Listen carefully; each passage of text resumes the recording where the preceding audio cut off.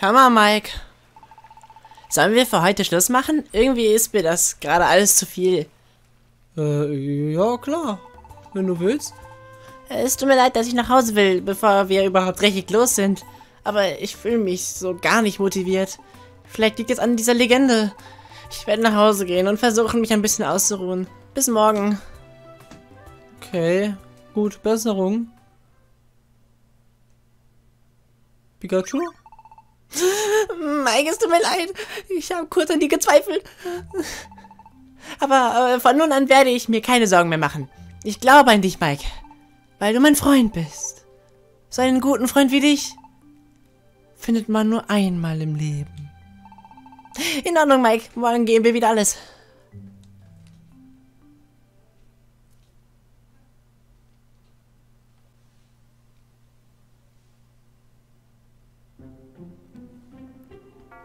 Hm.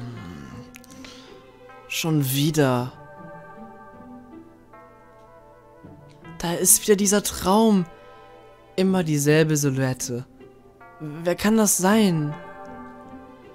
Oh, es sagt etwas.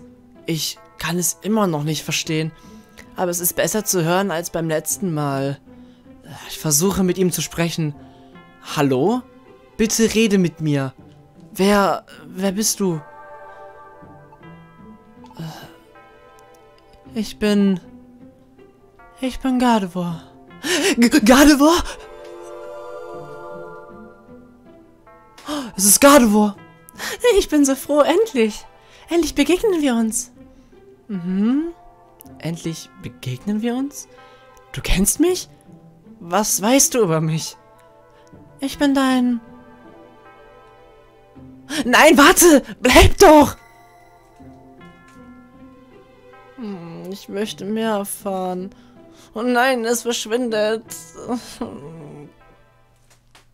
Verdammt.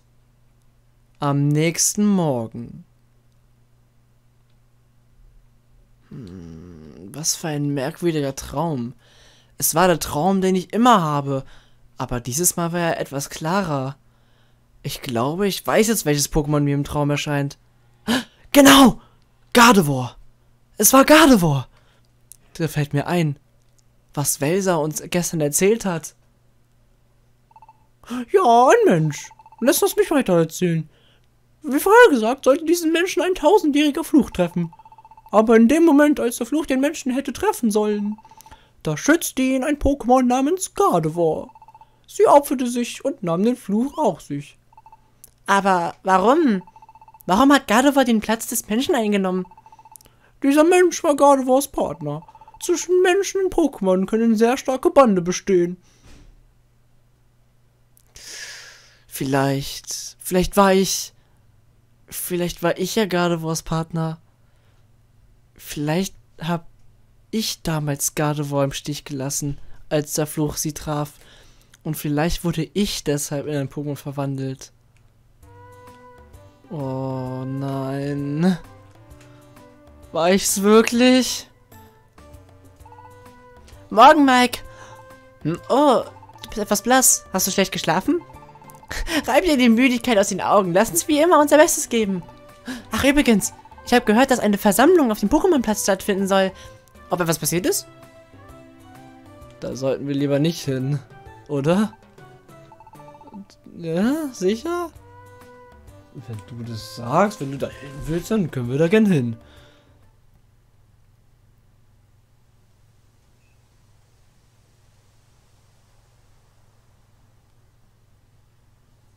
Alles ruhig, niemand da. Hm.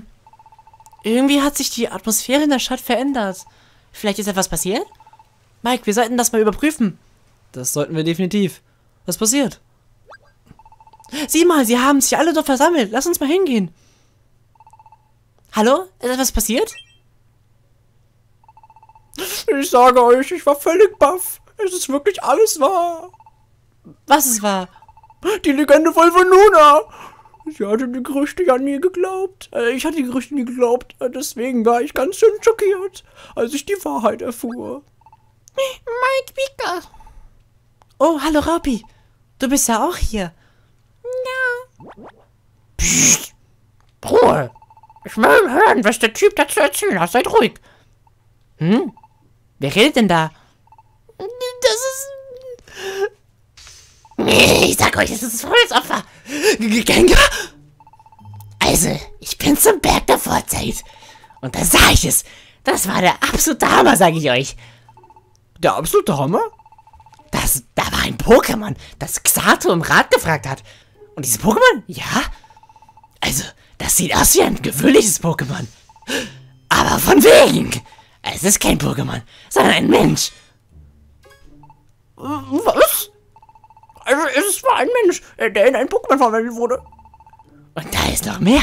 Xata hat den Menschen erzählt, dass eine Verwandlung in ein Pokémon das Gleichgewicht der Welt gestört hätte. Äh, Augenblick mal. Das ist doch wie in der Voluna-Legende. Aber das ist immer noch nicht alles. Das haut euch um. Passt auf, ihr wisst ja von den vielen Naturkatastrophen letzter Zeit, oder? Xato hat behauptet, diese Katastrophen kommen daher, weil das Gleichgewicht der Welt gestört ist. Und wenn nicht bald das Gleichgewicht wiederhergestellt wird, dann wird mit der Welt das Undenkbare geschehen. Das hat Xato gesagt. Was? Die Welt? Das Undenkbare wird geschehen? Was soll das heißen? Was sollen wir tun? Dieser Gengar, er versetzt alle absichtlich in Angst und Schrecken. nein, nein, nein, Leute. Kein Grund zur Panik. Ich denke, es gibt einen Weg, etwas dagegen zu tun. Was können wir tun? Nun, die Lösung für das Problem ist eigentlich ganz einfach. Wenn ein Mensch jetzt ein Pokémon, wo das Gleichgewicht der Welt stört, na, dann müsste doch alles wieder normal werden, wenn der Mensch weg ist. Stimmt's oder habe ich recht? Das ergibt Sinn. Wenn man so darüber nachdenkt, vielleicht hast du wirklich recht. Und schließlich ist dieser Mensch der fiese Feigling, der Gardevoir im Stich ließ.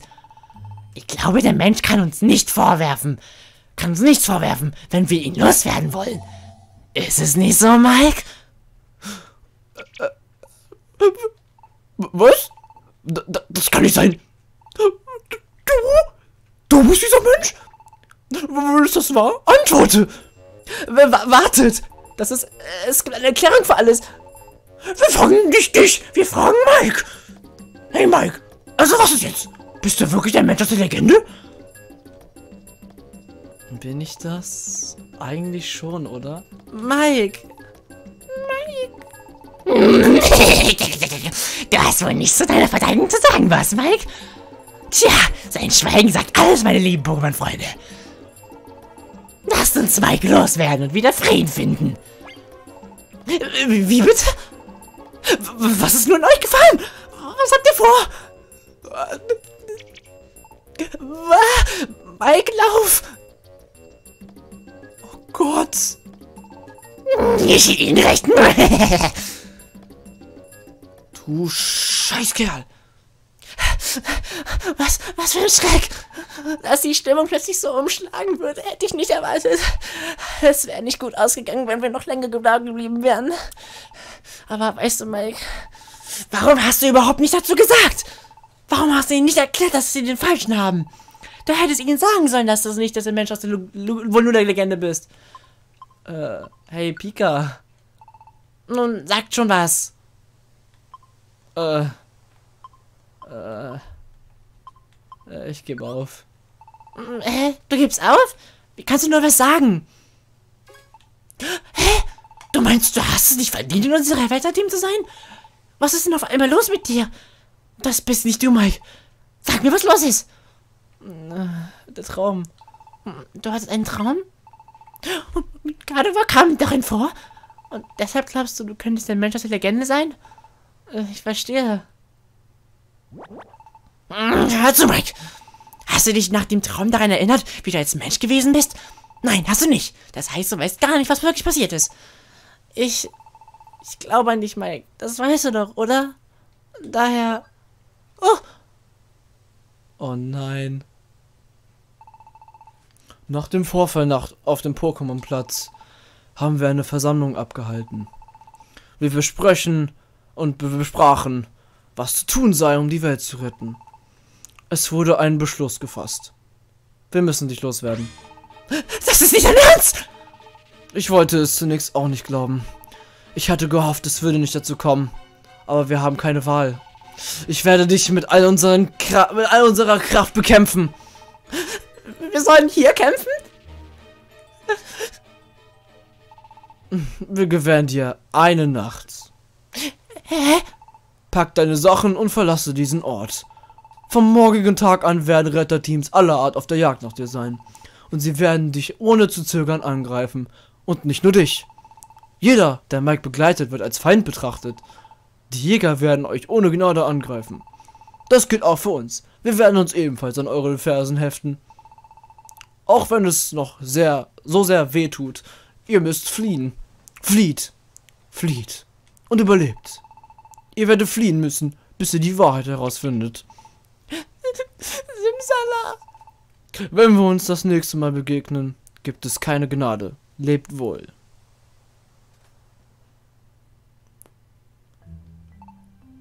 Mike, auf seine Art glaubt auch das Team von Simsla an dich. Auf seine Art glaubt auch das Team von Simsla an dich. Habe ich es dir nicht gesagt? Ich werde mir ab sofort keine Sorgen mehr machen. Was immer auch passieren wird, ich glaube nicht, Mike. Selbst wenn andere Retterteams uns angreifen, ich werde keine Angst haben. Äh, was hast du davon, wenn du nicht an dich selbst glaubst, Mike? Mike! Raupi. Mike, ich hab dir etwas versprochen. Weißt du noch? Dass wir hier eine Basis einrichten würden? Dass ich eurem Retterteam beitreten würde, wenn ich mal groß bin? Mike, gib nicht auf. Du bist für mich ein Vorbild. Ich glaube auch an dich. Oh. Und was sagst du jetzt? Okay, ich gebe nicht auf. Genau, das ist die richtige Einstellung. Das gefällt mir schon viel besser. So kennen wir dich, Mike.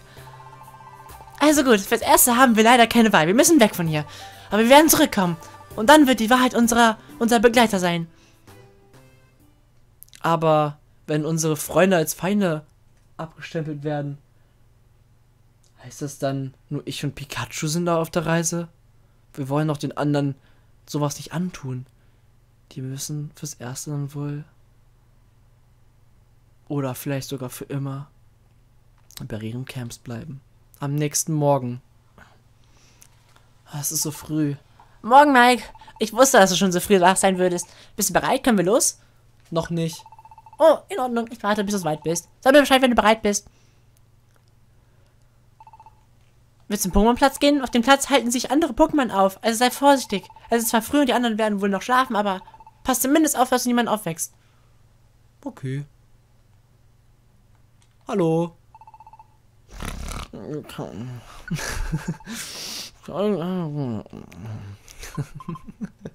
cool.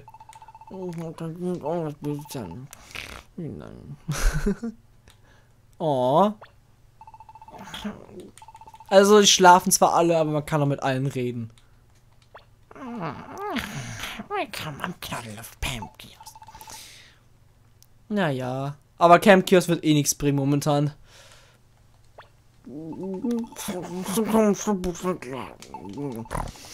Okay, und Kangama, du bist am wichtigsten. Willkommen beim Kangama-Lade. Kann ich was für dich tun? Du kannst gerne ein paar Sachen lagern, du. Ähm, ich sollte bestimmt auch ein paar Items mitnehmen. Ähm, denn jetzt wird's intensiv, du. Wir sollten wahrscheinlich die Items hier mitnehmen.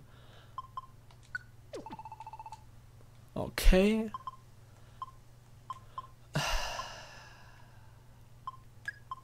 Die sollten wir auch noch mitnehmen.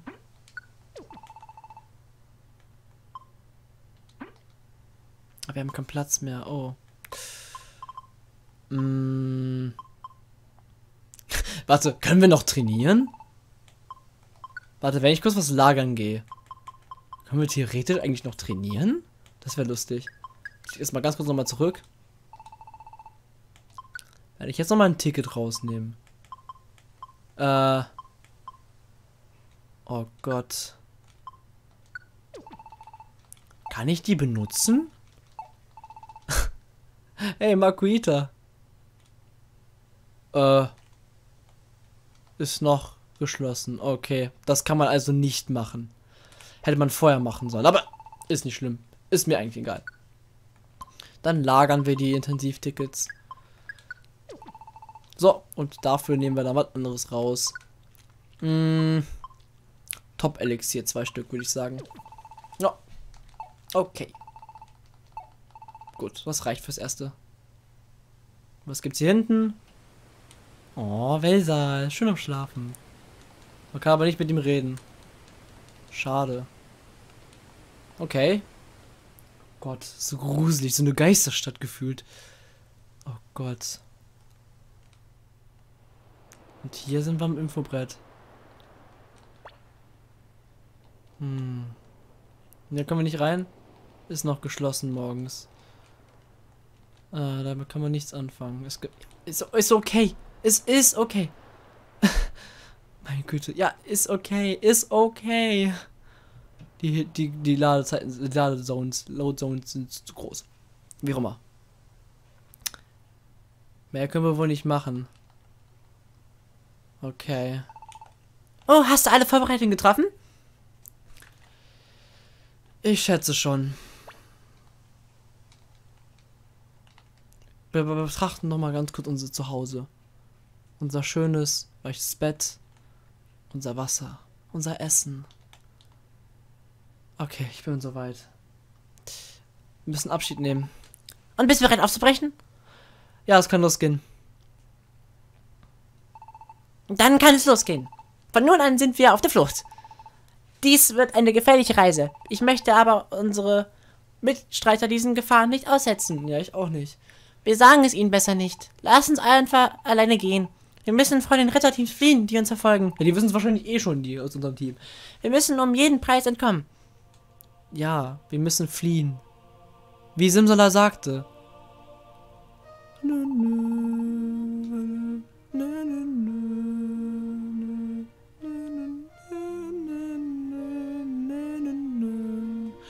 Dieser Soundtrack ist, by the way, in ähm, Sonne und Mond aufgetaucht. Beim Kampf gegen den Bruder von Lilly, ich weiß gerade nicht, wie der heißt, Gladio oder so, glaube ich, oder? Weil der ist ja von zu Hause weggelaufen und das hier ist der Soundtrack, weil wir jetzt fliehen und es ist cool. Es ist ein cooles Secret. Ein cooles Easter Egg. Auch wenn es noch so sehr weh tut, ihr müsst fliehen. Flieht, flieht und überlebt. Ihr werdet fliehen müssen, bis ihr die Wahrheit herausfindet. Ja, wer oder was bin ich? Solange ich die Antwort nicht gefunden habe, muss ich durchhalten und fliehen. Selbst wenn das bedeutet, bis ans Ende dieser Welt laufen zu müssen. In Ordnung, brechen wir auf. Mike! Raupi! Und auch Safkan! Oh, und sogar die Papunga!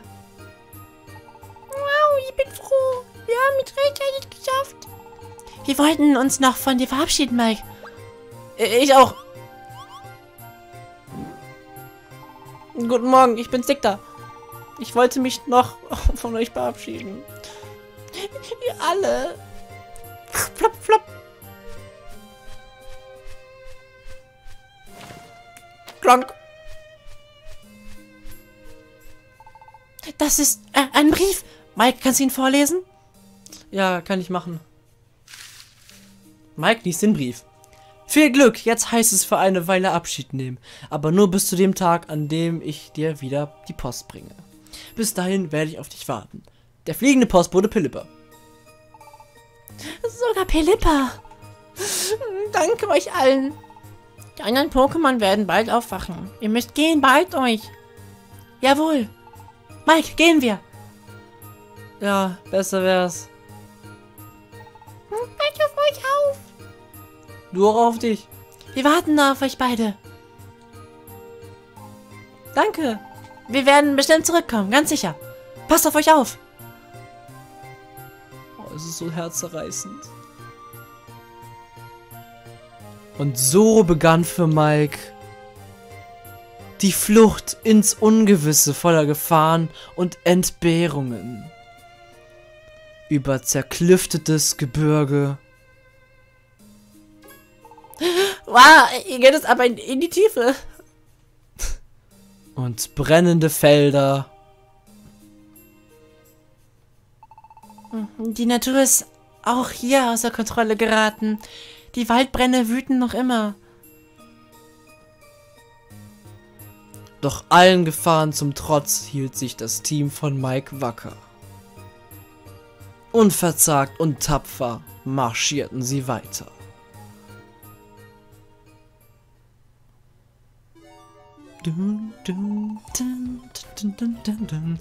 Das ist die Lapishöhle. Puh, wir sind wirklich weit gelaufen. Mir kam ein Gedanke, als wir unterwegs waren.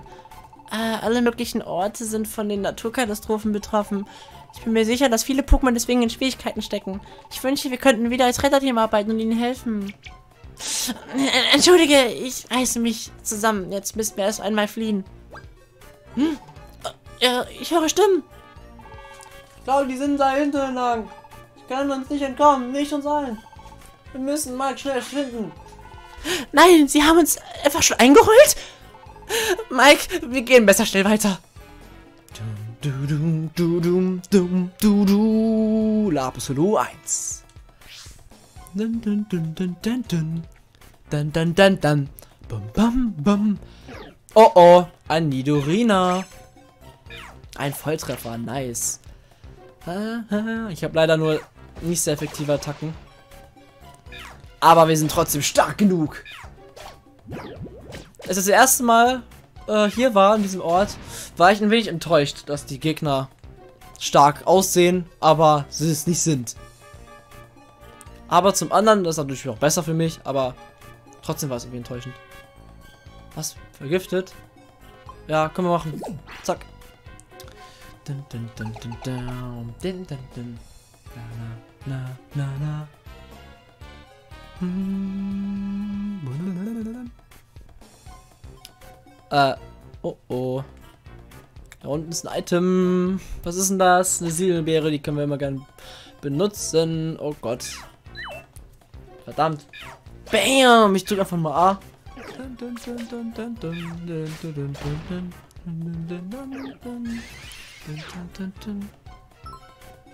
Oh oh. Was? Aua. Die. Bam. Hey. Lass das sein. Ja, wir können in diesem Zustand, soweit ich weiß, keine Charaktere rekrutieren. Also keine Pokémon rekrutieren. Ich glaube, das geht nicht. Oh, Pikachu? Kommst du? Pikachu, kommst du? Okay. Hast Kampf gewonnen anscheinend, vermute ich mal. Hier ist Geld, aber hier waren wir leider schon, deshalb bringt uns nichts. Zack. Er lebt einfach noch. Ey. Zurückschrecken, ich weiß, dann kann ich nicht angreifen. What? Was zum Teufel? Der hat einfach gerade gewonnen. Habt ihr das gesehen? Was zum... Was? Hab ich auch noch nicht. Hau doch ab. Meine Güte. Oh nein. Oh nein, hau ab. Bam. Zack. Nice. Hier sind zwei Items. Eine Sinelbeere. Ja, können wir nicht aufnehmen, egal. Und etwas Geld. Nimm mal mit. So, Lapishöhle. U3.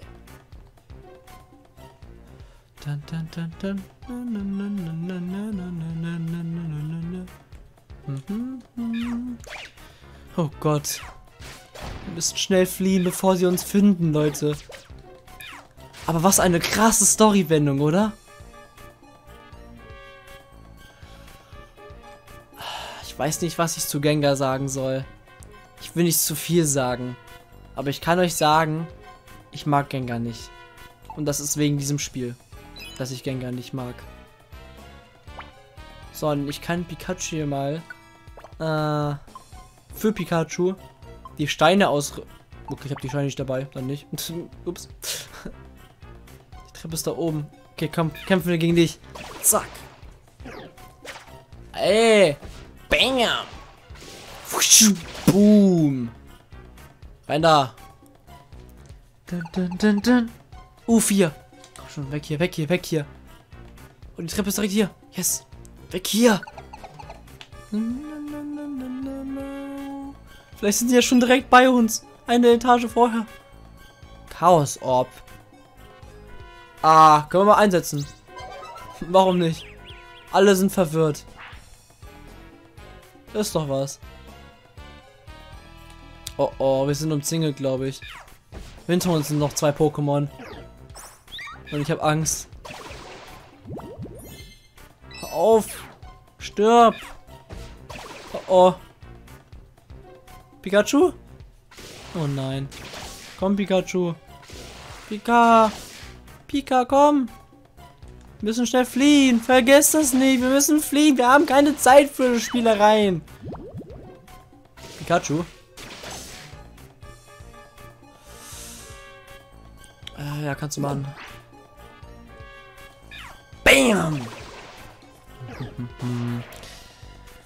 Was ich sagen wollte, wegen dieser einen Szene, das ist einer der größten Gründe, warum ich Gengar zumindest in diesem Spiel hasse und unsympathisch finde. Ich mag Gengar nicht. Also normalen Pokémon-Spielen schon. Aber in Mystery Dungeon mag ich ihn nicht. Und jetzt wisst ihr auch warum. Ich werde ihm das niemals verzeihen. Warum tut er sowas? Das ist einfach nur dreist. Und sowas habe ich mir früher als Kind, als Achtjähriger oder wie auch immer, wie alt ich war, habe ich mir auch schon gedacht, was ein Assi. So. Ich habe ich hab nichts zum Essen. Das ist nicht dein Ernst. Äh, Pikachu, du musst mal kurz äh, Lieder sein hier. Mini-Belebersamen, nice. Was ist das hier?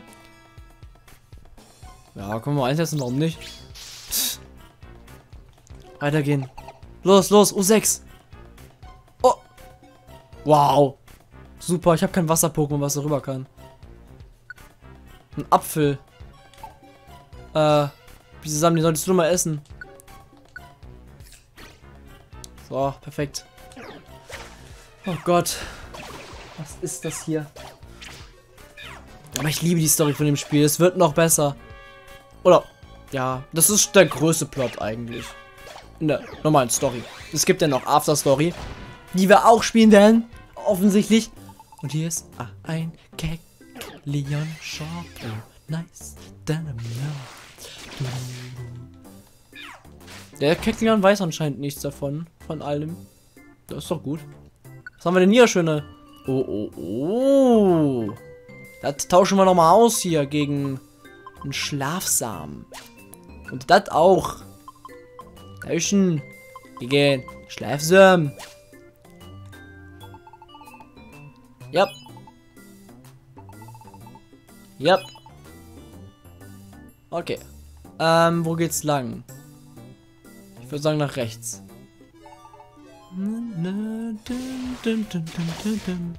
Pikachu, was machst du da? Oh! Ich! Oh, ich bin Level 19 jetzt. Nice. Nicht schlecht. Yo, Rasierblatt. Let's go, let's go, let's go. Das ist ja viel besser als das hier. Ja. Wir machen Rankenhieb dafür weg. Ja. Oh oh.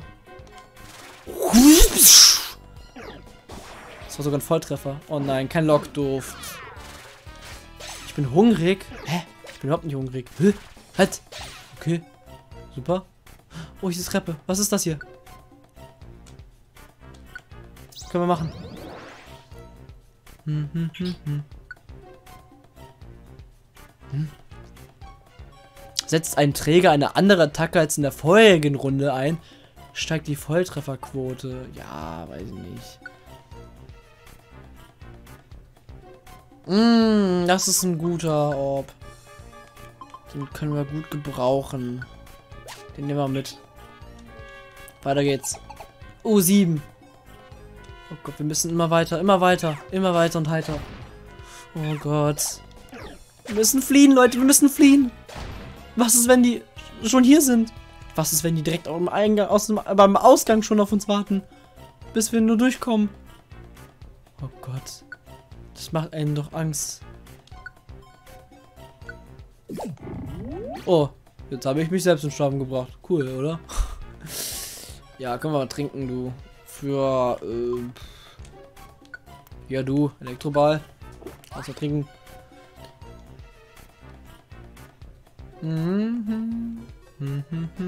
Oh, ist tatsächlich die, die Treppe. Skip, skip, skip, skip. Einfach skip, einfach skip. Nein, egal. Einfach skip.